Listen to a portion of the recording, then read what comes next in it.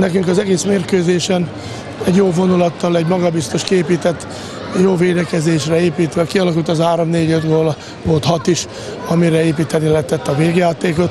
Ez rendben is volt, azonban ami problémát jelentett, hogy elől az ittszer helyzeteket kihajtok, és a Szeged védekezési váltása után azért is kellett időt kérnem, hogy rögtön reagáljunk, hiszen emberfogással rögtön lőttünk két gólt, amivel visszaállt a az a különbség, ami biztosította a győzelmet.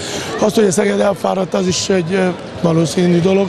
Mi is sorozatban játszok a mérkőzéseket, és örülök, hogy ezt a rangadót jó hangulatba, sportszerű keretek között a két csapat lejátszotta.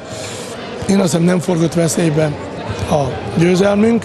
Ami nagyon lényeges az, hogy maga a védelem nem áll rosszul, viszont a kapussal való együtt működésünk most már a második mérkőzés, amely nem úgy működik, ami szeretnénk, vagy szeretnék én személy szerint, de a csapat becsületére legyen mondva, hogy hozzáállásban, ambícióban azt hiszem, hogy példaértékűen vett részt a játékban.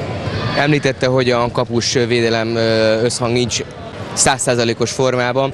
Ezt ilyenkor sok videózással, vagy mivel lehet kijavítani? Ez egy összetett probléma, amit ön mondott, hát az elemző munkával, a másik dolog a tudatos kapus munkával, a harmadik, én úgy érzem, hogy az Alilovicsnál a frissítéssel.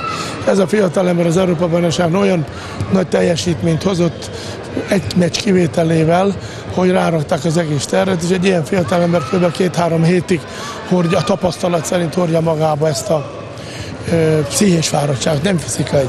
Ebből kell őt egy kicsit kirántani, most lesz rá időnk, ugyan játszunk a jövő három mérkőzés, de remélem, hogy ez lehetőséget ad az ő regenerálódására.